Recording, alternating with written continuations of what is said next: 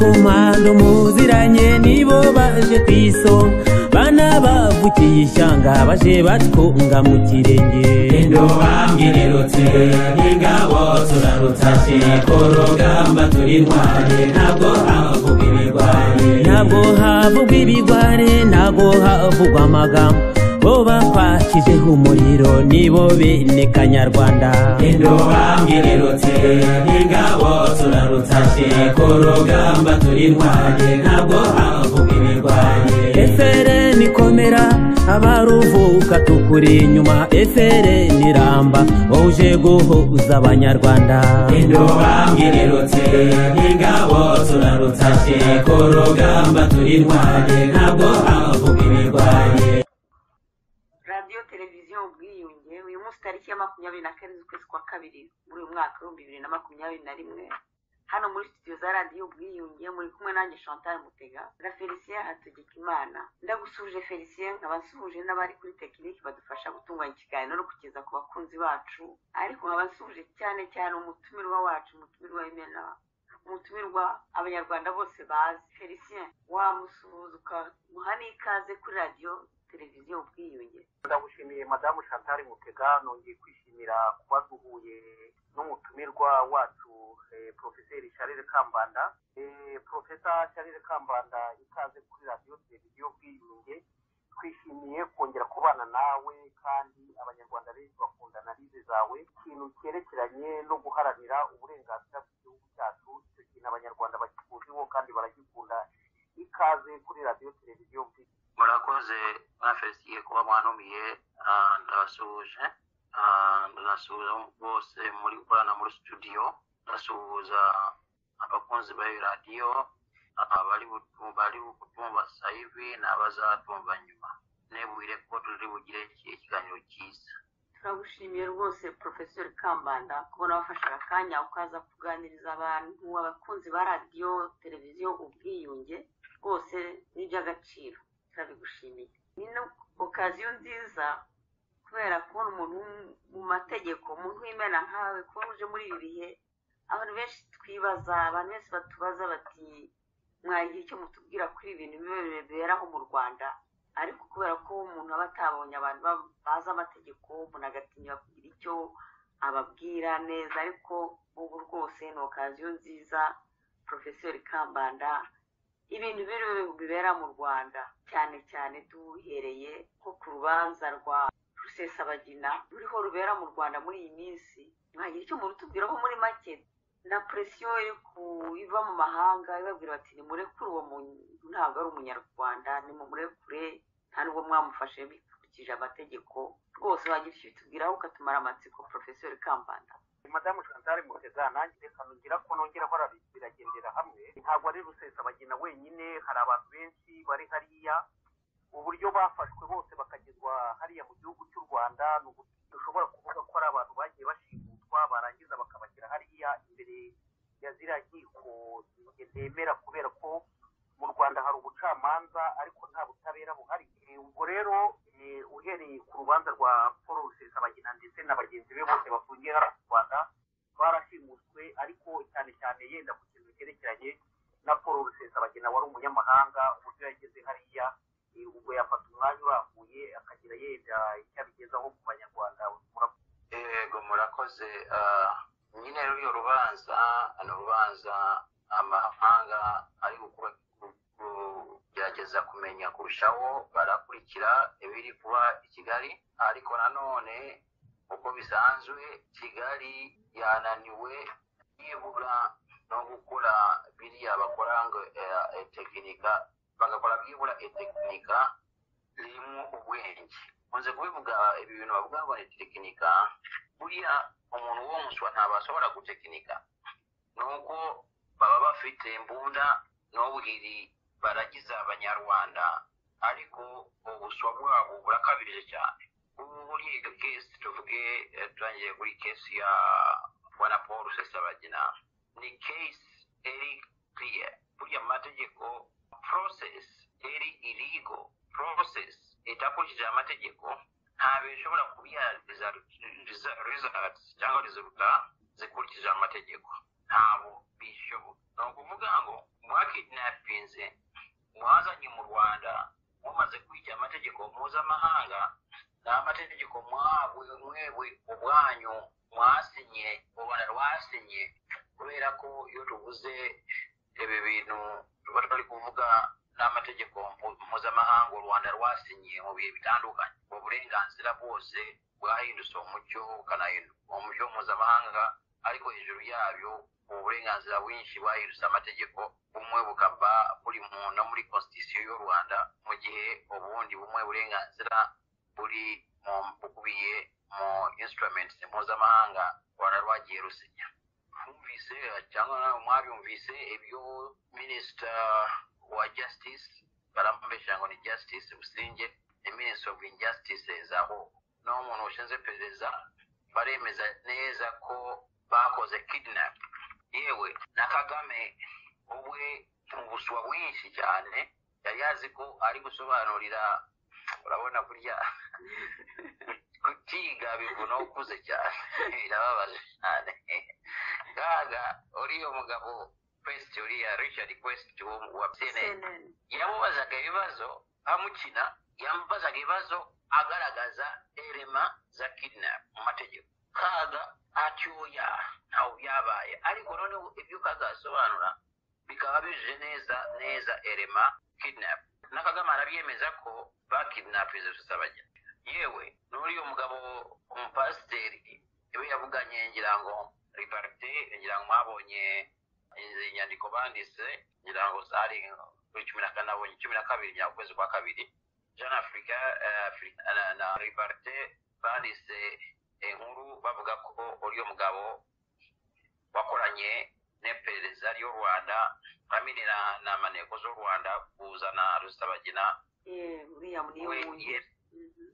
byaha- yarabyemeye neza neza ko bamu- bamukidnapinze we noneho amahanga akaba ari kubabwira ibi bintu ntabwo byemerewe nta gihugu na kimwe impamvu hagiyeho un oni nuko oni yagiyewo binyuze muri kiriya kintu cyitwa ah, united nations charter. Mhm. united nations charter yagiyewo kugira ngo babuze ibihugu kugenda bikora za operasiyo mu bindi bihugu ku bantu b'ibindi bihugu bakora za operasiyo. Noneho eh, kimwe mu bintu bya- byatumye eh, ujya ujyaho ni uko badashaka ko ibihugu bikora unilaterally. Ni ukuvuga ngo nk'u rwanda kaba eh, kigali hari bashaka gufata kambanda bakaza bagashakisha uko bafata bamwe bamukidnapinga bakamujyana i kigali. Ibyo ni bimwe mu byatumye hajyawo oni cyangwa united nations cyara akaba ariyo tegeko ryashyizeho ubona noneho rero bari kumubaza bari kubwira u rwanda ibihugu biri u rwanda ati muramuzi neza obligasiyo zanyu and muri iri tegeko ya united nations cyara ko nta gihugu gishobora guhitamo kugenda gufata omuntu gutyo uko cyishakiye kumukidnapinga nayo mpamvu iri tegeko kitwa kidnap ekyagiyewo ebyo ibi byaha bikaba sasa bisigaye biyitwa na terrorism kubera ko bakoze operasiyo za gisirikare mu kindi gihugu. So bari kumubaza ati eh, u rwanda ntabwo rwemerewe gukora ibi bintu. Aho kugira ngo yicishe bugufi avuga ati narafashe bibura nk'ibisuma by'abahanga umuntu w'umu- w'umusuma ufite ubuhanga. Iyo umuhanga iyo bamufashe areba ukuntu yegura mu kimwaro ibyo yibye akabita akiruka akagenda. Ariko we kaga nyine ashaka gupfana ibyo yibye ibyo yafashe akaba ari we wanarusasabanya none akaba abesha ngo hazaba fair trial. Fair trial bivuze fair process. Fair trial bishingiye kuri due process. Hamwe mpuzamahanga kandi byahindutse amategeko u rwanda no mu rwanda muri constitution y'u rwanda ko nta muntu ushobora kwamburwa liberite kuba free ubuzima cyangwa umutungo we bitanyuze muri process due process. Rusesabagina mwamukidnapinze ntabwo habaye due process. Amategeko mpuzamahanga arateganya iyo bagira ikintu babaza rusesabagina hari processes buli mateje g'omuzaba naye omwanvu obumvise bavuga ngoba mulega uh, terrorism amahanga nanaawe oleseko mulanga ya diplomacy ntamuntu obabuya direct ariko amahanga arabizi. Ati bababuya ati nebako kwe yakoze terrorism kandi terrorism e, era n'ahantu wa mu biwugu egibiwugu yabagamu kurusha n'ewaanyu bakola epeereza kurusha n'ewaanyu kuki mutazanye ebyo ebirego hano mukabiriza byebula mugasa extradition ye mwagiye gukora icyaha mpuzamahanga mu kidnapping. Ariko nanone ngira ngo abenshi barabizi ko bagerageje gusaba ko leta ya hano cyangwa y'umubirigi imufata eh, ikamwohereza mu rwanda. Ibi- ibimenyetso byose barabibasabye ba- barabizanye hano no mu birigi ariko leta za hano zarebye ibi bimenyetso zigasanga nta kintu na kimwe cy'icyaha kirimo. Niyo mpamvu bwana rusasabagina atabaye uh, prosecuted cyangwa extradited kubera ibi bintu bya terrorism bamurega. So ni ukuvuga ngo kagame ibintu ari kurega bwana rusasabagina deja bwana rusasabagina yarabi- yarabiburanye muri muri administrative procedures zibishinzwe zifite n'ubumenyi ku isi bwa mbere nk'amerika n'umubirigi ntawo u rwanda rugeze ntabwo u rwanda ntabwo warukompara ah, n'amerika. Ariko ubushinjacyaha hano ubugenzacyaha hano bwarebye iyo dosiye yose ya rusabagina ya terorisme iyo bamurega bagasanga nta cyaha na kimwe bashobora gukurikirana kuri rusabagina kubera ko nta cyaha yakoze. Noneho ibyo ni byo byaha kagame avuga ngo ya- yakidnapinze umuntu ngo umuntu agende kuburana ibyo byaha. Ariko nanone bakimugeza bamugeze mu rwanda harabibona ibintu bagiye bakora cya mbere mu buswa bwabo. Nanone rib yakoze dekarasiyo ko ba- bafashe rusabagina bakoranye binyuze mu mikoranire n'ibihugu bitandukanye. Urebe ukuntu ibisuma kimwe mu bibazo u rwanda rufite ni ugushyira ubuyobozi mu maboko y'igiterabuhe bariya abantu bamwe bamwe turanabazi bamwe turabazi twarakuranye ngo ni abajenerale yakubwiza ukuri ntuye wundi kuri bariya abantu ahubwo uravuga ati yewe n'ubu ntabwo batagize. Bamwe bari abashumba b'inka babandi ba- ba- ba- ba- bajya kuragira inka z'abantu. Bariya babantu bajya kwikorera amakara ku mutwe. Ba- bamakanika bagakanika amagare bitavuze ko hari n'abari n'abari mu buzima bwiza ariko nanone abenshi muri bariya kandi nabo baje bagafata pawa noneho ibyo batekereza no batekereza bakaba aribyo byayibye igihugu harimo n'uyu kagame ubwe Mm. so bamugejeje mu rwanda muri buriya bwabuswa bwabo icya mbere bakoze ni ukwihutira gukora statement buriya eh, eh, bariya abantu b'umukotanyi Mm. iyo mubonye atanguranwa no gukora amatangazo menya ko bakoze icyaha ni kimwe mu kanya nandi kubwira abantu ba muri icyo gihe ibintu bya- byo muri kongo bya ambasada wa wa wa- wo muri italy Mhm. uriya ambasada ntabwo nshinganya ko kagame ari we wamwishe kandi impamvu zirahari ariko ntabwo ari byatuzeruye batuzeruye Mm. kimwe mu bintu bituma uretse ko hari ibyo nzi ariko nanone kuba batanguranywe gutanga amatangazo ngo ni fdrr yishe bariya bantu ukabona bariya bandahiro bariya baswa ba- batega inda wagira ngo barabyuka. Buzuye icyuka akagira ngo ndahiro ntamubona yuzuye icyuka gusa no bakita umushakashatsi Mm. birababaza cyane kandi abo ngo nibo ba- bafite ijambo mu gihugu. Ariko se ko nabonye n'abariya no- no- na kongo yatanze itangazo ko ari fdrr of course hari kongo hari hari kagame.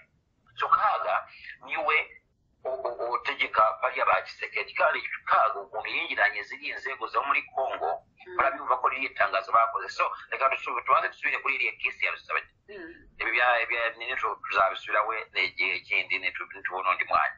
Uzabagina bakimufata bahise bandika itangazo ngo ah, bakoranye n'ibihugu ah, bitandukanye kumufata ariko none ureba bamaze kubasunika ibyabo bimaze kumenyekana kubera ko aba bantu bajya bibagirwa ko isi ntabwo ikiri ya yindi yo muri mirongo icyenda na kane.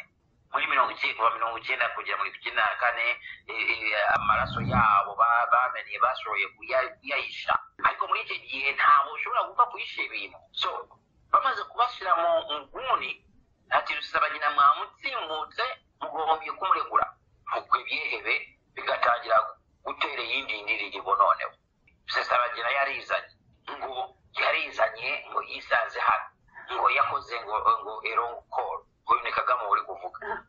Bakamuribuka vuga ati ariko kweri. Byibura nta nta muntu wize amategeko ushobora kugira inama byibura ukamenya ibyo wakagombye kuvuga byibura. So uh, ageze mu rukiko nanone urabibona ko rigaragaza ubuswa bwabo.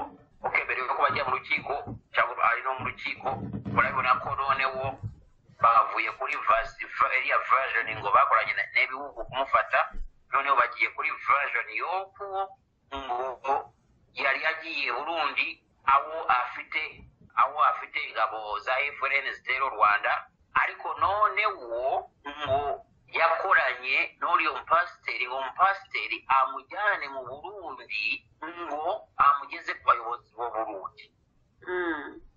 Hari umuntu ushobora gushi- gushinga ingabo mu gihugu runaka atazi ataziranye n'abayobozi b'igihugu runaka. Icyo gihugu harimo. Ibibazo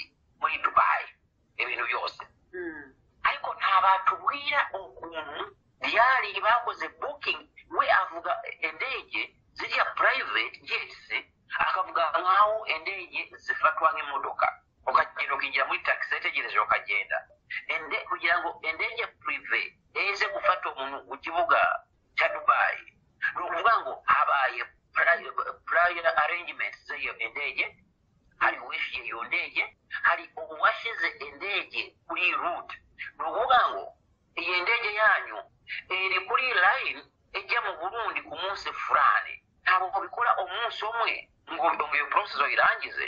Kubera ko n'igihugu mugiyemo ari zi- kisaba kinasaba cyane cyane iyo ari- indege prive Mm. banasaba kumenya za details z'iyo ndege ni yande ni yabande izaza ifite ibiki ibintu byose bakora dekarasiyo ya ibintu byose bizaba ku ndege ibi ntabwo bikorwa mu munsi umwe. Mm. so mukatubwira ngo rusesabagina yakoze gahunda y'okujja mu burundi ariko noonewo wowe waje mufate endeje mujane ngokaba aliwo ng'ogeze e dubayi nejoro muli mugende mu gitondo ng'oniwo wamuwiyengo ngo endeje ezisirwa n'abayobozi bo mu burundi sipa possible! E, Ejoro yavuye awo yavuye tuvuge ko yavuye mu rwanda cyangwa nairobi aho yali ali akamusanga nimugoroba bagiye mu rugendo mu gitondo. Ngo noneho akabwira ngo rusesabagina ngo indege abarundi nibo bagiye kuyishyura. Indege yavuye gute muri kampanye? Ikajya dubayi ngo muyifate it- it- itabaze kwishyurwa. Kandi izo nyirabu- nyirabuhere icyo natubwira ni kampanye y'indege yamujyanye iya kampanye y'indege ni kampanye ya kagame. Oh. niwo kagame ashyira indege ze. Mm. Oh. birashoboka ko rero iyi ndege ubwayo yari iya kagame? Ibyo tuzabibona muri mu kirego cyatanzweho hano kiri sivo Mm. tuzabona impapuro zabyo zose tuzabibona muri discoveries. Izo mpapuro zizagaragara ugasanga izo ngirabuheri ntabwo ushobora kwicara hasi ngo byibura zihimbe ikinyoma kiri Ouais. so noneho tugiye mu rubanza ngo batangije urubanza. Nyirabuheri zikongera nanone ngo bazanye sankara. Ngo bazanye sankara kwemeza ko rusesabagina ngo ni umwenegihugu w'u rwanda. bwe mangu munonde wenawe sankalakaaza ng'alaba baye cyane ngo ndaba baje cyane no kumva zabagina wari utuyoboye nari nabereye visi ngo ndaba baje cyane kuba aka n'akata y'umunyarwanda kandi yashaka kutuyobora yanabuye ko ashaka kuba perezida ngo icyo nicyo kimenyetso kigaragaza ubwenegihugu ubuswayubusize obwongeyewo obugizi bwa nabi mm. biradogera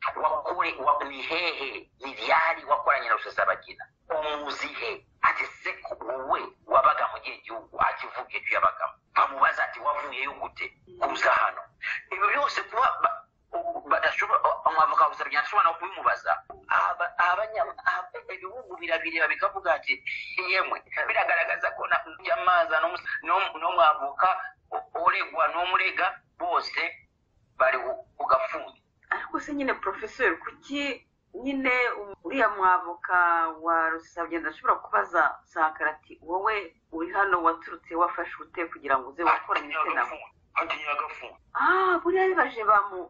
Buriya donati banize. Buriya donati umwavoka banize. Hariya no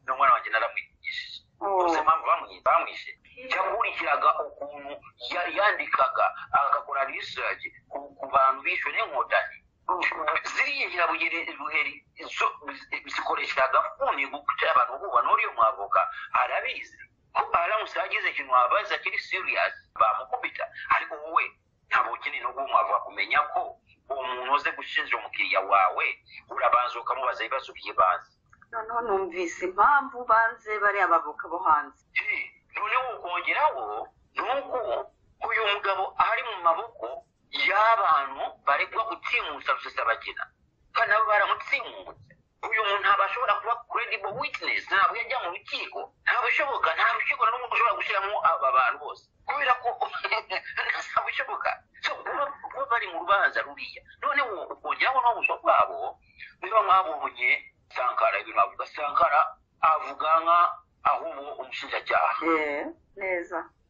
Rusesabagina bisa nkaho ahanganye n'abashinjacyaha ba- babiri sofa ahanganye ibi bintu byose abantu amahanga arabibona. Akavuga ati oh bariya abantu barashize kweri. Donc urumva ko abaha- abahanga abibona. Of course uhita ubibona uhita ubonye abibona none we ikindi kintu hmm? sankara n'abandi bariya abantu bose. Sankara aravuga ngo wiyemereye ibyaha ngo wiyemeye ibyaha kera ngo yanasabiye imbabazi. Urabyumva? Mm. Ariko noneho bariya basoma bakongera bakamuzana ngo ari kuburana kuburanira hamwe na rusesabagina umuntu wemeye ibyaha aburana gute aburana ibihe byaha none iyo umuntu yemeye ibyaha mu mategeko iyo umuntu agiye imbere y'umucamanza umunsi ujya imbere y'umucamanza bwa mbere ikintu umucamanza yakora aragusomera ibyo ukoregwa Mm. ku giti cyawe aho niho mwaba muri gurupe kubera ko ibyaha buri muntu wabazwa ibye Mm.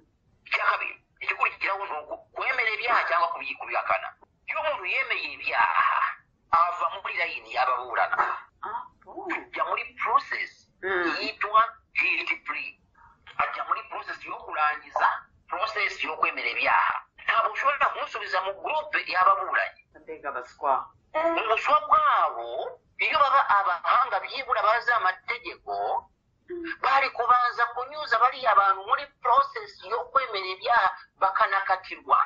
Hmm. Nono bakabona kubagalula ng'abagabo oleseko omugabo oli maboko yaleeta kumuzana gusinza omuntu nabyo obwabyo n'ekibazo leka none womubwire obundi busonga bali abantu. Bo balatubwira bakanabwira n'amahanga ngu wano ngu hali n'abaafaswe muli gweferene baafa tuwe ku lugamba muli kongo hmm. Bakavuga bahamani n'abandi ngo nabo beteguye baraburana na na nini ngo beteguye no no gushinja rusabagina ngo baraburana nabo bararegwa mu rubanza rusabagina niba aba bantu bafatiwe muri kongo ku rugamba ni imfungwa z'intambara. Ni ukuvuga ngo bakura muri kongo kubajyana mu rwanda ha- bagombaga kunyura muri process ya extradition. Sino mwarabat- nabo ni ukubasimutsa mu- mu- mu- mu- mwarabakidnapinze nabo ekindi prison of war omuno fatwe kulugamba kirazirako bamulega ebyaha bya violence yakolebwe ku lugamba kirazira kirekamu mulega ekyaha ekiyitwa war crimes. Nabindi byaha osobola kumulega omuno fatwe ku lugamba mu mategeko mpuzamahanga ya convention ya geneva yagatatu ereba uh, humanitarian law. Kirazirako omuno fatwe ku lugamba alegwa ebyaha bya violence. Eh, bisanzwe biyizwi bikolwa mu ntambala zisanzwe kirazira. Ekyo gihe yobikoze oba oli kukola ekyaha kiyitwa wocrime ahubwo rwanda ku wocrime exception emwe gusa mu mategeko mpuzamahanga kandi u rwanda rwarayasinye imfungwa y'intambara ashobora kuregwa muri exception imwe gusa iyo aregwa ibyaha by'intambara apana kumurega ngo yatwitse imodoka ngo yarashe umuntu ngo ngo ba- bari ku rugamba akarasa abasirikare ibyo ni ibyaha ni violence. Isanzwe izwi mu ntambara zose. Ntabwo ushobora kuzire- kuyirega uwo muntu biba biri mu gitabo cya gatatu muri iriya convention ya gatatu muri ah, na protocol yayo. Protection ya prisoners of war. Ba prisoners of war cyangwa abaturage basanzwe bafatiwe nabo kubera ko iriya convention yo iravuga ati n'abaturage basanzwe bafatiwe ku rugamba bafatwa bafite uburenganzira bumwe n'uburenganzira bwa bwa prisoners of war. Ikindi kintu urashobora gukora kuri prison of war ni ukumuparedinga kumugaragaza kumusuzuguza kumushyira imbere y'ibitangazamakuru kirazira Cya- gatatu kirazira ko prisoner of war umuntu ufatiwe ku rugamba kirazira ko afungwa nk'igiha igihano. Iyo afunzwe uwo mufunzwe muri protection kumuproteja Tubaproteja ku bintu bitatu. Cya mbere tumuproteja ba bandi abawe. Sasa kubera ko uba wamufashe abantu bawe bari ba- ba- ba- cyangwa abantu ba- yarwanyaga bashobora kumugirira nabi. So ushobora kumushyira ku ruhande ariko adafunzwe nk'igihano cya kabiri umuproteja ku bantu basanzwe ashobora kuba yagiriye nabi cyangwa gurupe ye yagiriye nabi barwana. Nanone abawe abe noneho n'abaturage agiye kujyamo. Ukavuga ati n'aba baturage bashobora kuba bashobora kumugira nabi bavuga batyo yeshyano mugiye kubera ko ugomba kumwohereza kumusubiza mu buzima busanzwe. Ibi byose ntawe yemerewe ku bantu bafatiwe ku rugamba. None ubu kagame agatubwira n'abasore babushinze babusenge bakanabyivugira ngo bariya bahamani bafatiwe ku rugamba muri kongo ngo barwana frn uretse ko mwatuye ko frn idahari iba mu mico y'abantu nawe yageze etera u rwanda. None muri kutubwira ngo hari abafatiwe ku rugamba rwa frn irwana muri kongo cya mbere ntabwo mutubwira uko bavuye muri kongo bakaza mu rwanda ese habaye extradition? Ni- igisubizo ni oya. Ni ukuvuga ngo mwabakidnapinze nayo. Nabo bari kidna- kidnapped nka rusesabagina mwazanye gushinja umuntu uri kidnapped muzanye gushinja umuntu wa- mwakidnapinze ibyo mahanga arabibona bakavuga ati aba bantu ni mbega baswa. Ariko se baba usingiye wumvise ngo ngo ngo abaturage ngo banyamibata ngo bagiye kwigaragambya kubera ko amahanga ngo ashyigikiye rusesabagina kandi ngo yabagiriye nabi mwatubwiye ubwanyu ko nta efureni yageze itera ibi mwarabitubwiye ikindi rusesabagina ni umusiviri yakomandinze ryari FNN ikindi hari na kiriya ko rusesabagina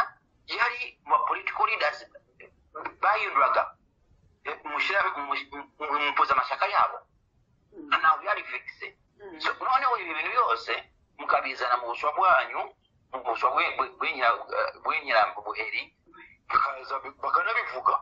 Bakumva ko ari oke bakumva ko amahanga. Nayo mpamvu ubona urubanza rusabanya rumaze no gutangira aho amahanga yarushijeho gusara yashyizeho gusarira kagame kandi bishobora kuzamu- kuzamugira ibibazo bikomeye cyane. Narabivuze bakimufata niba mwakurikiye na na- ntazi n'ikiganiro kuri radiyo yanyu.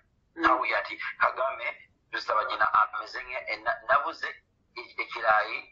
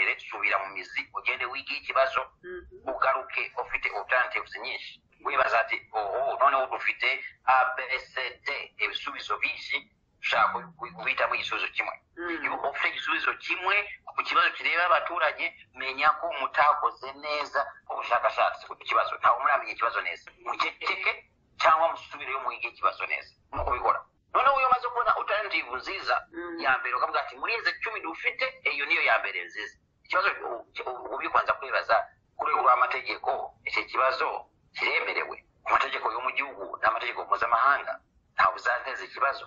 Sk ninde uzunguka kurusha? Ukamenya abantu bose bazunguka muri icyo cyemezo cyawe. Unguka ukamenya buri muntu gurupu zitandukanye icyo zizunguka ariko noneho ukareba wowe uzunguka gute? Kirazira ko leta ifata icyemezo aho undi muntu mu akita azunguka kurusha leta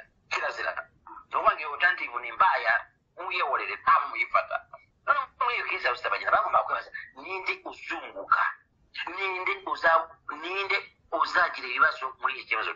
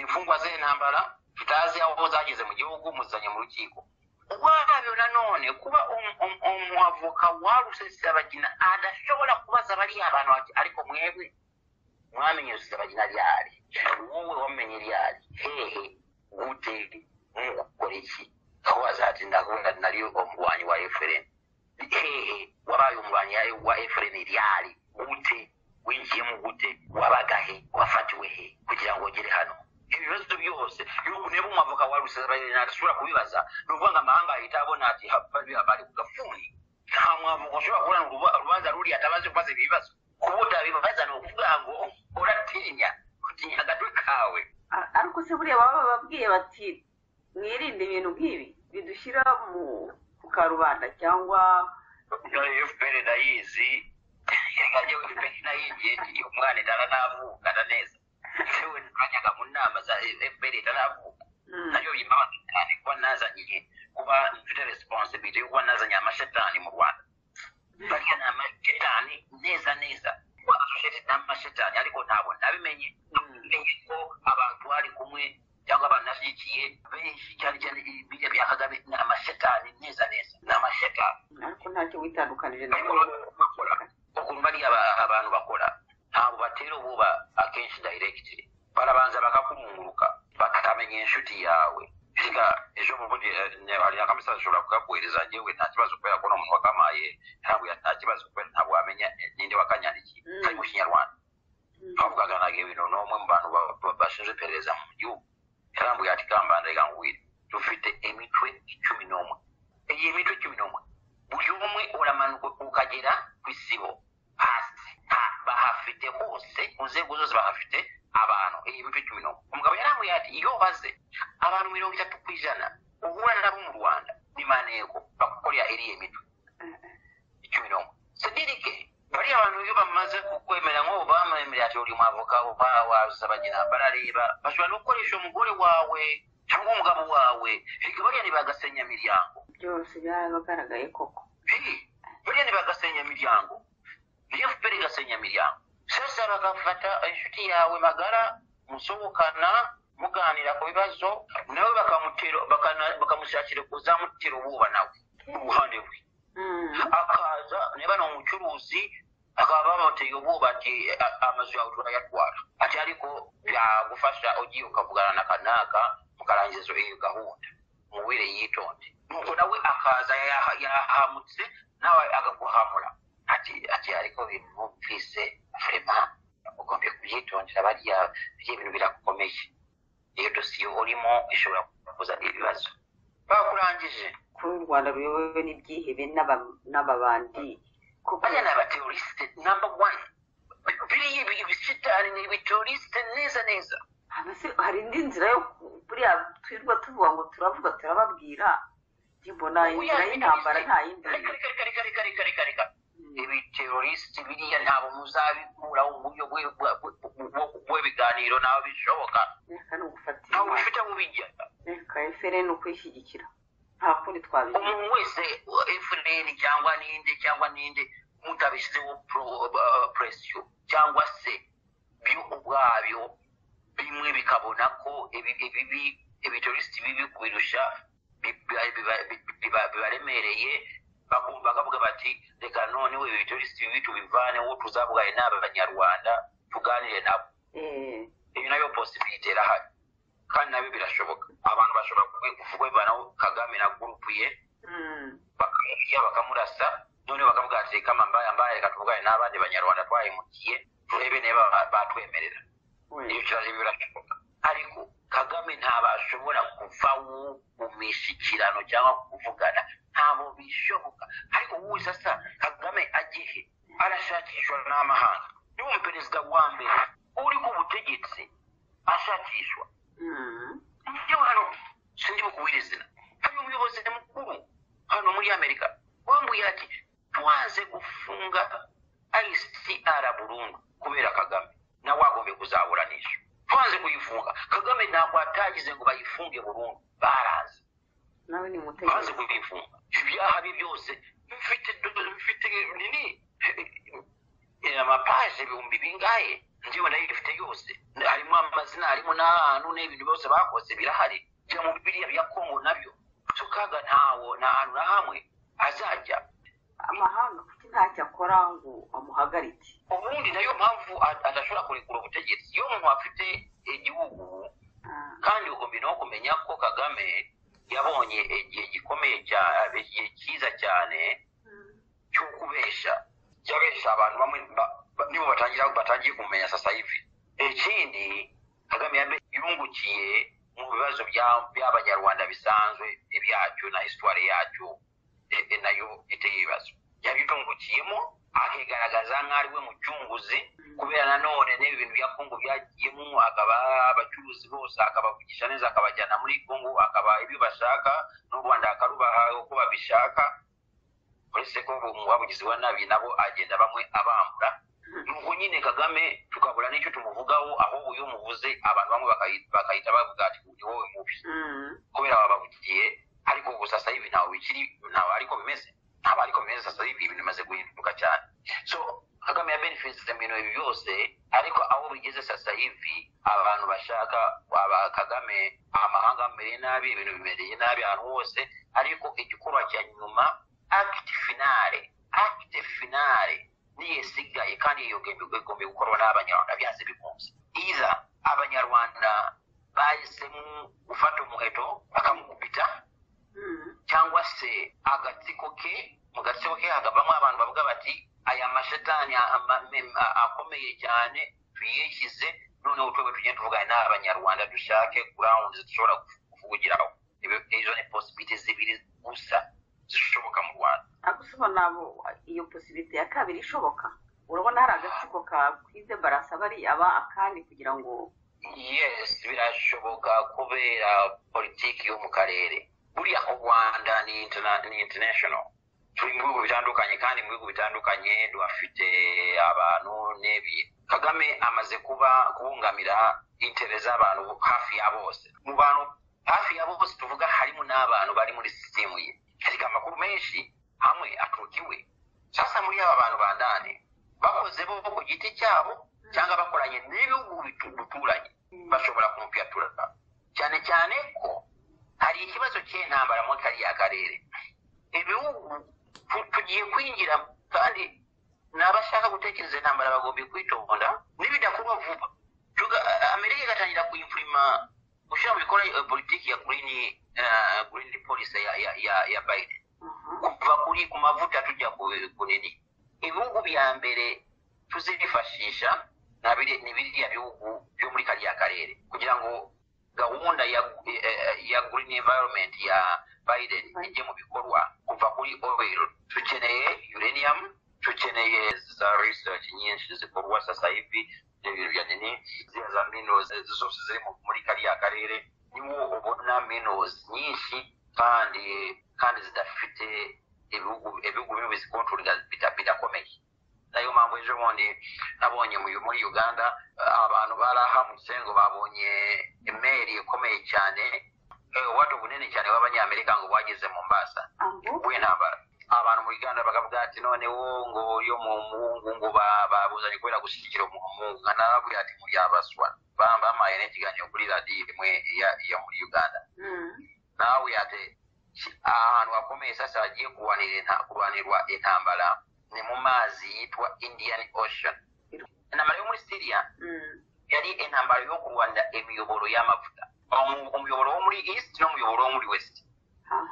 Omuli west akaba ali waakyo omuliyisiti bawulwanira hagati isirayiri ebushaka aliko n'oburusiya bw'obushaka aliko n'obukutu gye tuli kuva ku mafuta tugiye kuli zamino z'omu burundi congo uh, central republic uganda wenda n'omu rwanda zaboneka ebyo by'obugu bigiye kukoleza emmotoka z'amashanyalaze n'ebindi byose. Mm. Ebikozi bisatuuka hali. Mbere y'oku trump ava muli mu office twabanje tugafata iriya si yitwa uh, south china sea. Hagiyemo obwato bukomeye bwitwa rosdale ni ubwato bukomeye cyane. Bagiyeyo bakabushyiramo bumu trump akababwira ati nimugira nimubukoraho ndabamara mwese. Abachina bahise ba- baceceka ariko mu by'ukuri iyo ni tura- urayibona ko amazi ari amazi ya- ya kure turayafashe amazi mazi ya mediterranean sea ari hejuru ya afurika hagati ya afurika na europe. Warayafashe noneho intambara ya kabiri ikomeye tugiye kurwanira kuri indian ocean ari amazi ya kuri coast ya ya kenya na tanzania kugera south africa. Nayo mpamvu izo meri zimaze kugerayo eh, ubwato umaze kugerayo kugira ngo kuba kangahe wumvise ko abachina ngo nabo ngo bashaka kugerageza nabo muri ah, eh, ubwato bwabo muri eh, indian ocean. Ariko numvise ngo israel yarababwiye ati nimwibesha mukabikora. Turabereka. Abantu bashaka kureba intambara muri icyo gihe muri kariya karere bagombye kubi- kubikora vuba. Kubera ko abazungu ntawe bazemera intambara muri kariya karere mu bihe biri imbere. Ibintu byabo bizanyura he?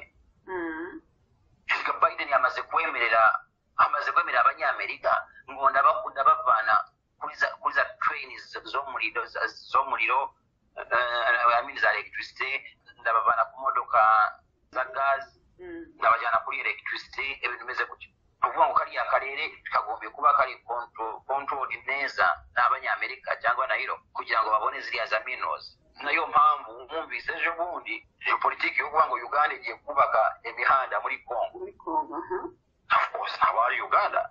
Aba partners ni nk'amerika bamu- bamubwiye museveni ati genda hariya hantu wakubita imihanda turebe uko bizagenda ko hari buruse numvaga bavuga ngo n'iriya tata kuriya kwica uriya mu ambasaderi w'umutaliyani ni ukugira ngo baburizemo uganda itazajya kubaka muri muri kongo ibyo byose barabikora barabeshya ntacyo bazageraho noneho wumvise ko n'abarundi nabo ngo bagiye kubaka imihanda muri kongo muri south kivu. abarundi? Abarundi reka bahagaze neza noneho muri politiki mpuzamahanga maze guhagarara neza hari abafaransa bongeye gu- gusubirana kagame yari yababeshye. Mm. bamaze kubona ko abarundi batanyeganyega bagomba gukorana nabo. Ni abana beza cyane. Bamaze kubabona ko bahagaze neza ntawe bashobora kunyeganyega bagombye gukorana nabo kandi bari muri bafite politiki imeze nk'iya tanzania. Kandi babibona ko n'icyaba cyose bafite sisitemu yubatse Mm. ntawe ayo kuvuga ngo runaka aravaho noneho ibintu bisubire inyuma.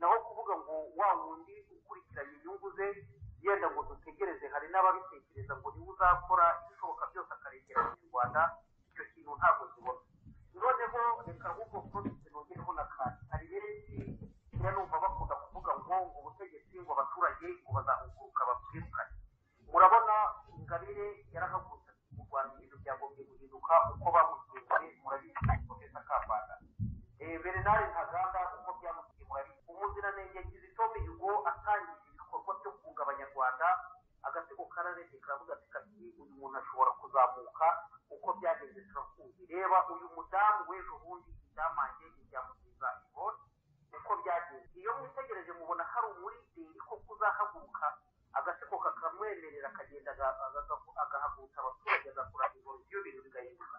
Cyangwa hagombye gukoreshwa imbaraga z'uko abantu bagomba kuvuga bati hari abasore n'inkumi ubwo ndavuga bo muri eferene bahagurutse baravuga bati reka twereke ko abanyarwanda ibintu byose bishoboka. Bakabashyigikira ndetse n'abandi bakabegera noneho ba bantu baze kwizima kuva ku izima bakavuga bati murebe umuturura uyu muti tugomba kunywa kugira ngo ibintu bihinduke mu gihugu iwacu murabibona mute porofeseri kambara tugomba kwibuka ko diporomasi cyangwa imibanire y'ibihugu ntabwo ishingiye kuri etike cyangwa ntabwo ishingiye kuri variyuzi ahanini ahubwo ishingiye ku nyungu. Igihugu runaka kiba kivanamo. So kuba ibi bihugu tuvuga ati ntacyo bizatumara cyangwa se ntabwo byatumariye bikarebera kagame yica abantu ariko nawe banza wibaze ubu se ibihugu bibigenze gute? Mufite umuteorisiti bayoboye amakampani yabo ayaha ibyo bashaka. Ubu se mushaka ko aba ari abantu bakora ibi? Icyo bashobora gukora ni uku- ni ukusunika gatoya kuba ari gusunika sasa hivi ariko aki akiti cyangwa final act igikorwa cya nyuma kigakorwa n'abenegihugu ibyo kagame arabizi muzabaririze abantu bazi kagame bamuzi mu buzima busanzwe. Ikintu azi nk'amahame ni uko abanyarwanda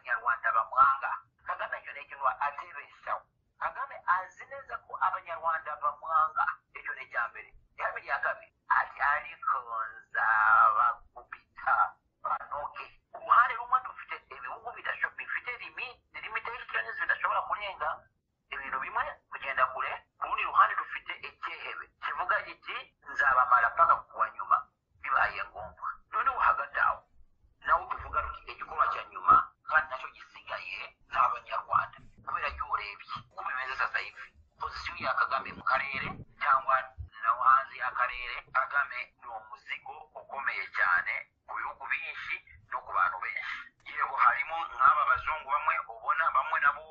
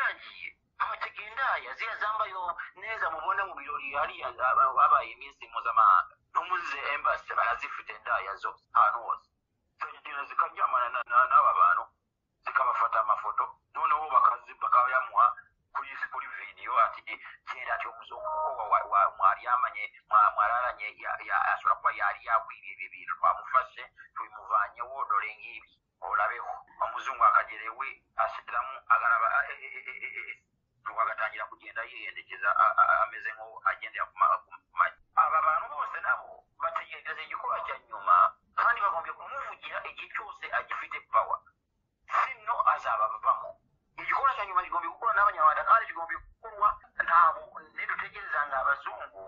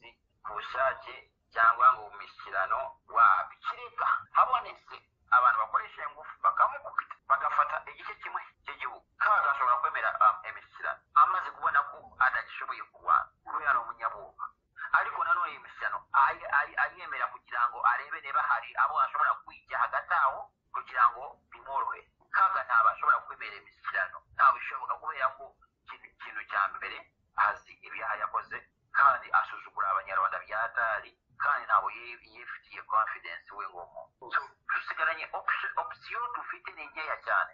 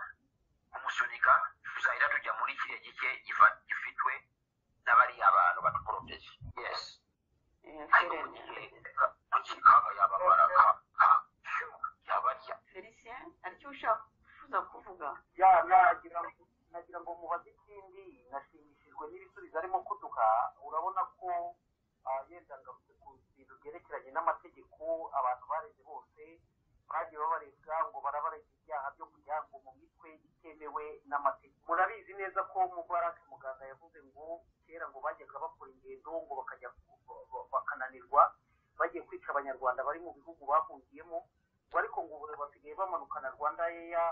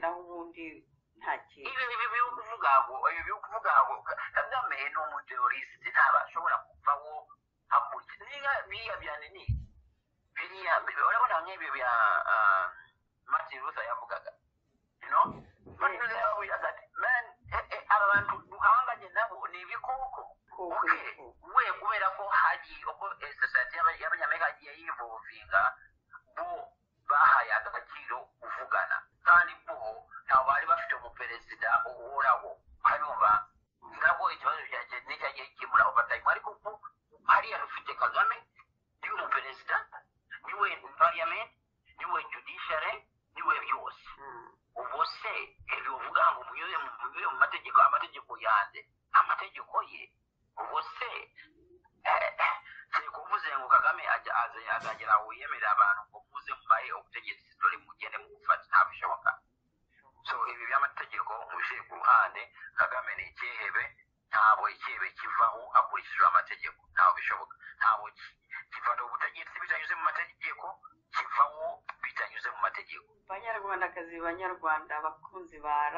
Ubwiyunge twari tukiri kumwe na porofesori kambanda dore ko iyo umuntu amwumva yumva nta kindi yakora.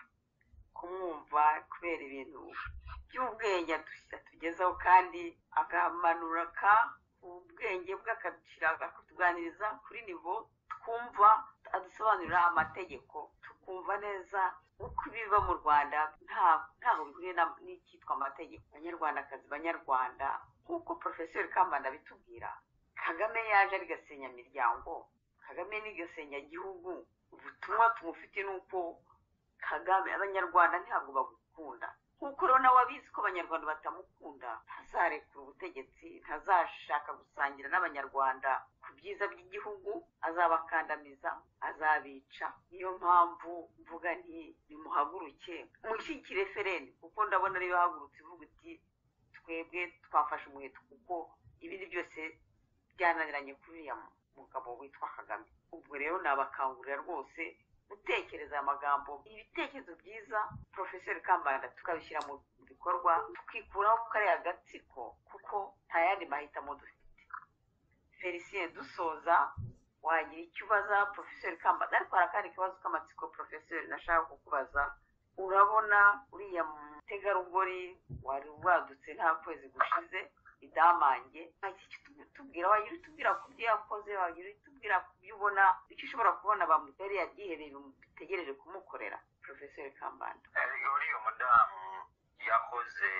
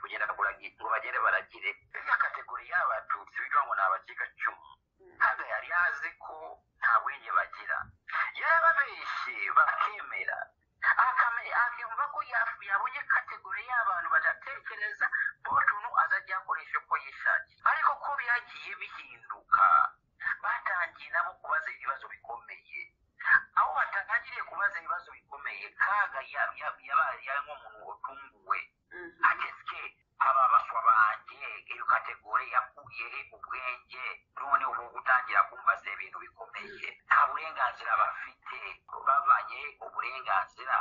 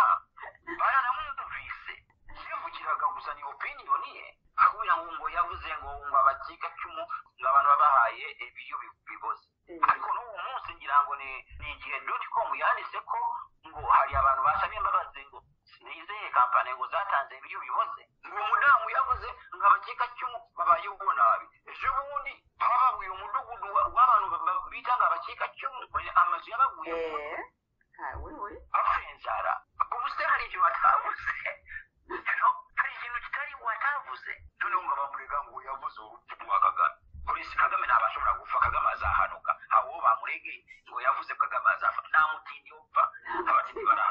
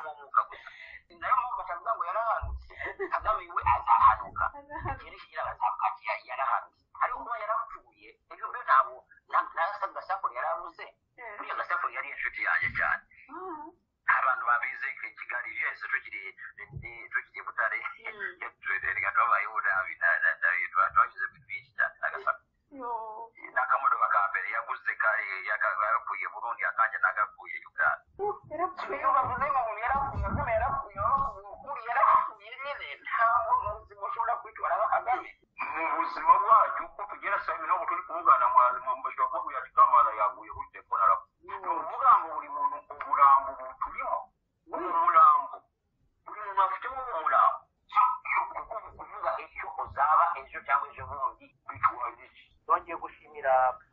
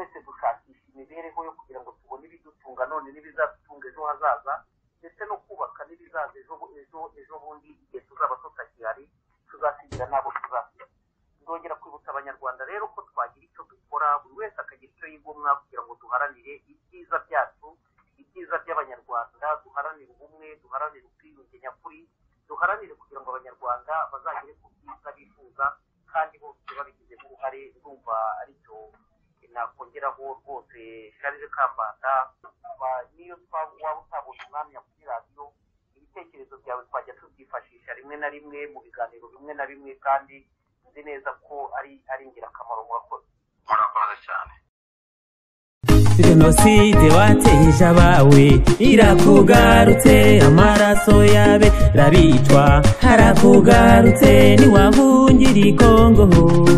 Bazagufata mu babanyi urabizi neza. Ntiwahagera ntibugande ko bakugabiye ntiwabashimiye igendere